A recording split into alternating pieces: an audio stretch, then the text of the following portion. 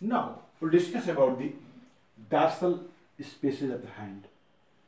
Here, in the dorsal region of the hand, there are two spaces. One space is just below the skin. This is skin just below the skin. This is subcutaneous space. This space is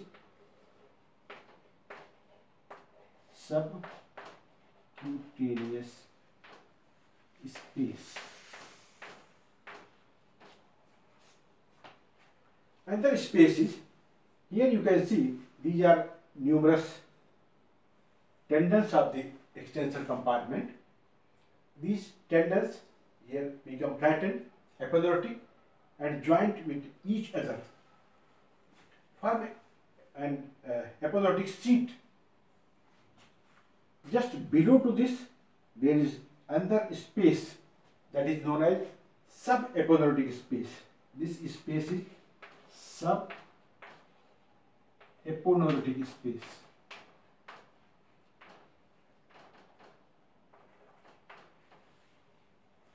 This space is also known as subtendinous space because it lies deep to extensor tendons.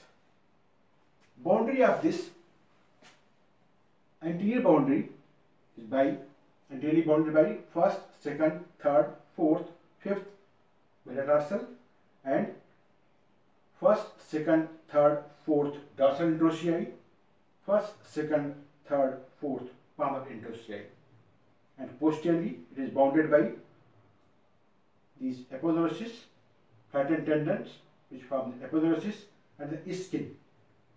So this space is